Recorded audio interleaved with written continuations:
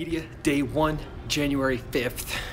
I'm in Las Vegas, Nevada for CES 2019 and I'm checking out the view from the window here at the conference center at Mandalay Bay. Today is going to be mostly the press conference from Living in Digital Times. We talk about technology like our smart home, nursery tech for babies, family tech, kid tech, things like that. They, are the ones that put on the Family Tech Summit that I'll be going to later this week. CES unveiled is tonight where some of the newest uh, technologies and things that companies are coming out with are available to kind of look at and, and demo, and so we'll, we'll, take a sneak peek at some of that stuff too. Um, but uh, for now, I'm just looking at the mountains, really.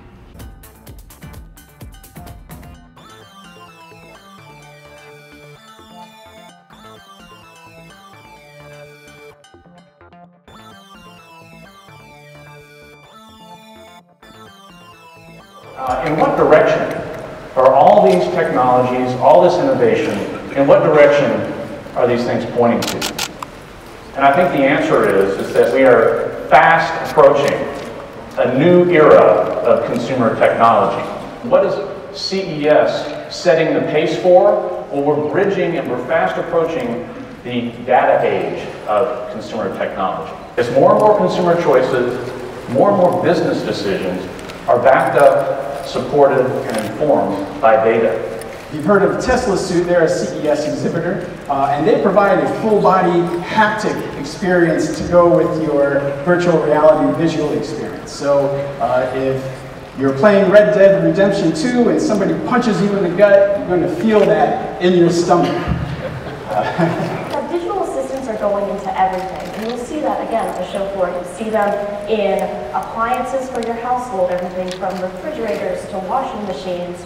Um, cars, they're in your vehicle now, so it's taking that uh, safe driving and hands-free driving to a whole nother level. And of course, your various hub devices. In my opinion, the next trend for the smart home, beyond hardware, is how do we get those devices to connect to each other? The idea of the smart home is about a, a symphony of devices working together, not so much uh, one single device uh, working on its own.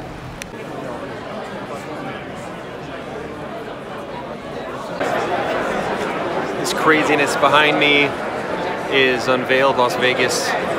Just walked out of the Trends to Watch session. And now we're gonna go see some of those trends they talked about, some of the technology that they are highlighting at CES this year. So let's go do it.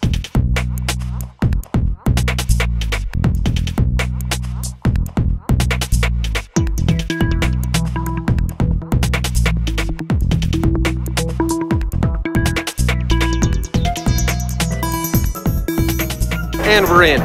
That was nutty. But we're on the Las Vegas Unveiled floor. I'm gonna go over here to the right and work my way around. anytime I see something family related or kid related or I don't know, super cool, I'll post to show you a little, uh, little bit of it.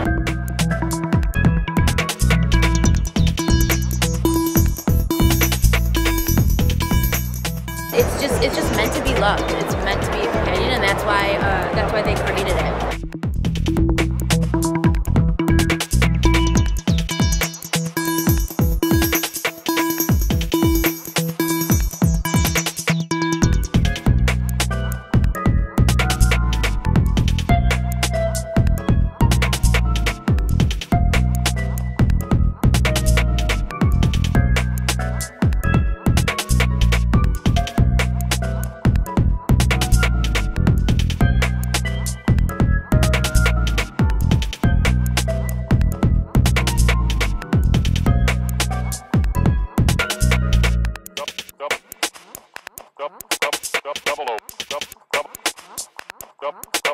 double O, double hip, double O, hip, double hip.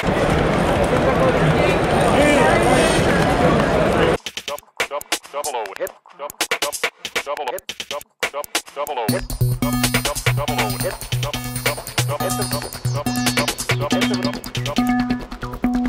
The screen will shut down and you've got a story in it with all the elements you have choose uh, in the story. Well, there you have it. That is it for me at uh, Unveiled Las Vegas tonight.